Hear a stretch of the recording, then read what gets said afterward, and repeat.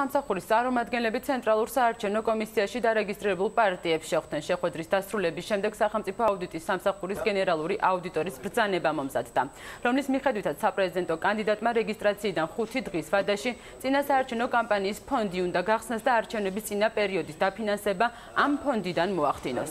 ასევე დოკუმენტის თანახმად ყველა პარტიამ, რომელიც უფლება მოსილია საპრეზიდენტო კანდიდატი წარადგინოს, არჩევნების გამოცხადების დღიდან ყოველ სამ კვირაში აუდიტის სამსახურში ფინანსური დეკლარაცია უნდა წარადგინოს.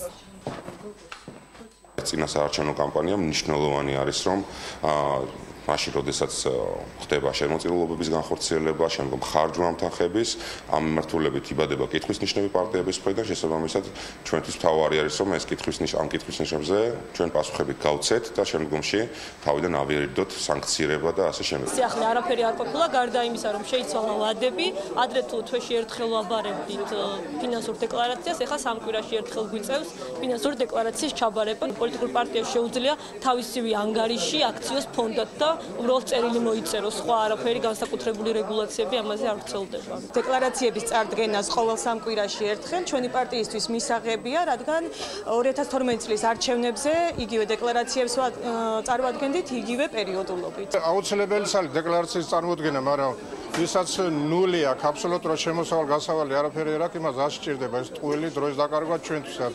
კარგი იქნებოდა მიეხედათ დაფინანსებისათვის. ყველა პოლიტიკური პარტიების ნორმალური დაფინანსება რომ ქონოდათ